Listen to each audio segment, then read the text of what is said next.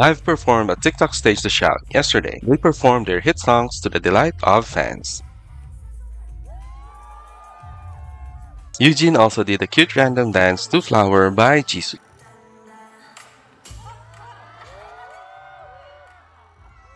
Early today, IVE is back again at Gimpo Airport traveling to Japan. The group will continue the second leg of IVE The First World Tour Show What I Have in Tokyo on 15th and 16th of November.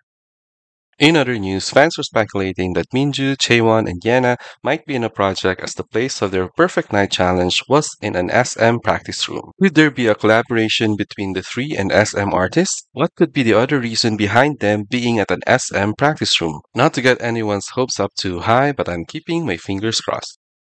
Let's also wish a happy birthday to LE SSERAFIM's Maknae Eunchae. Hope she enjoys her special day today. Thank you for watching. Annyeong.